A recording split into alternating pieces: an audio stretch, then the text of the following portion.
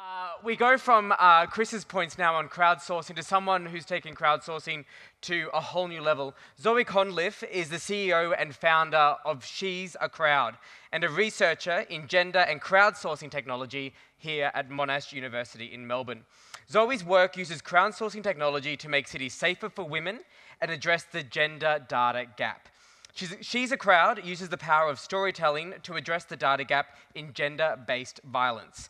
She has been, uh, she, by she I mean Zoe, has been named uh, one of the top 100 most influential, creative, and provocative people in Melbourne, and her company has twice been listed on the Smart Company Smart 30 list. It's very smart. Uh, please give it up for the awesome Zoe.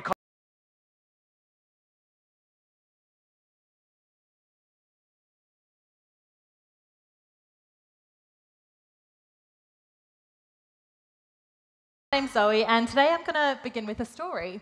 So, when I was in grade two, our class did this thing where when it was your birthday, you got to have a special show and tell. Uh, like more than just your average weekend, kind of what I did on the weekend. It was kind of like a TED talk, but for seven year olds. It was a big deal. And so I remember my birthday was coming up, and I went home and I said to mum and dad, What should I talk about for my special show and tell? And they said, Why don't you talk about when we lived in Cambodia as a family when you were younger? So I got my photos prepared. Um, I was a little bit nervous. And I stood in front of the class on a Wednesday morning. I remember it like it was yesterday. And I said, When I was little, I lived in Phnom Penh, Cambodia, on a crocodile farm. And I began to tell my story. Sit down. Don't tell lies. My teacher interrupted me. I hung my head in shame and my cheeks burned and tears welled up in my eyes. And I sat down. And have you ever been made to feel like, you know, something you've experienced isn't normal? Because that's how I felt in that moment. And I guess I didn't tell my parents what had happened in show and tell that day for years because for some reason I felt like the reason why tell didn't go well is, was somehow my fault. But I learned a very important lesson that day. I learned that, you know, it's probably not normal to have lived on a crocodile farm in Cambodia when you're a kid growing up in Queensland, um, but also that if you have experienced something that's not considered normal, then it's something that you should be ashamed of. But growing up, my curiosity for Cambodia, this place that had shaped a huge part of who I was, just grew. And I learned that we'd lived there because my dad was a part of the United Nations mission to install democracy. I learned of the turmoil Cambodia was in when we lived there, um, that it was just coming out of civil war and genocide. Um, and I learned of the sacrifices that my parents made moving us there, but also leaving. I learnt that we left because my friend who I went to preschool with there was abducted and shot in the leg and left on the street um, to die. And that's why we'd actually left. So I grew up with a very uh, deep understanding of my own privilege from a very young age. And I knew that I was lucky. So when I finished high school, I moved to Cambodia and I ended up starting my first NGO, which was a community development project regenerating the arts in rural areas of Cambodia. I was on top of the world, I was studying long distance, I was running my first company, and I felt like, you know, I was kicking goals.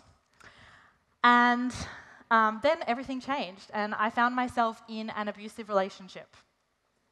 So that's not something that I thought would happen to someone like me. Like, I thought to myself, you know, I'm educated.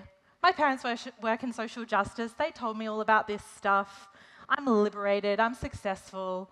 This kind of thing doesn't happen to people like me. But it did. And I hid the fact that it was happening for a very long time because I was ashamed, just like I hid what happened in show and tell that day. But I realized that I was ashamed because i I felt like I'd allowed myself to get into that relationship and I felt like I'd stayed and I felt like that wasn't who I was. Getting out took a lot of strength, But it also took the re- like the, all of the resources that I had and the support around me that I had were integral to that. And that's when I realized what happens to other people who don't have those supports. So that's when I decided to start telling my story. And I became an ambassador for the International Day of the Girl, and I shared my story. I stood up in a room like this um, and told my story for the first time. And I remember my dad being in the front row, tears streaming down his face, um, that he'd let that happen to his daughter. And what I noticed that first time I shared my story was that something magical happened. Other people started sharing their story. And I noticed that when I shared my story, the shame in the room just withered and died before my very eyes. And when I shared my story, I felt less alone, and so did everybody else. That's when I realized I needed to dedicate my life to addressing and ending gender based violence. So, this quote by the poet Muriel Rukeyser says What would happen if one woman told the truth about her life? The world would split open. And I ask, what would happen if millions did? Women have traditionally not been reported, recorded, or believed. We've remained invisible in the history books. But it's time that that changed. So I went on to work in gender advocacy and for international development agencies, and I saw firsthand how storytelling can change the hearts and minds of people in positions of power.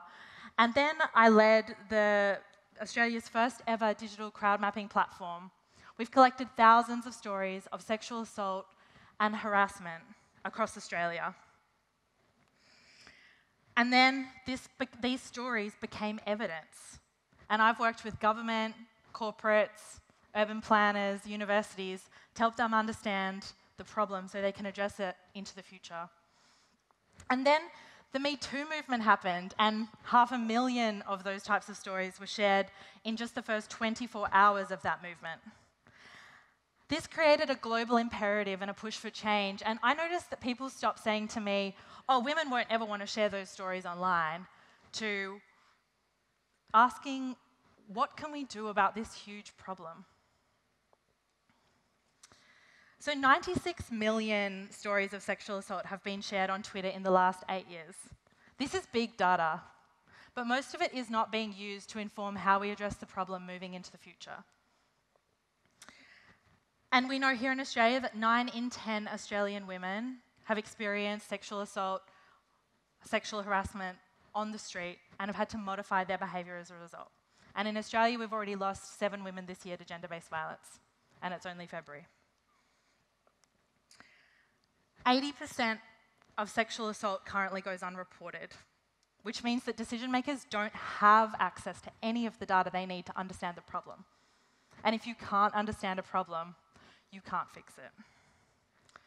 So, my company, She's a Crowd, uses crowdsourced data to help decision makers understand this problem using something that women love to do share our stories. Brene Brown says that stories are just data with soul. And I know that women are ready to share their stories and that decision makers are ready to hear them. And we heard from Chris about the data revolution. Data's the new black, everyone's talking about it.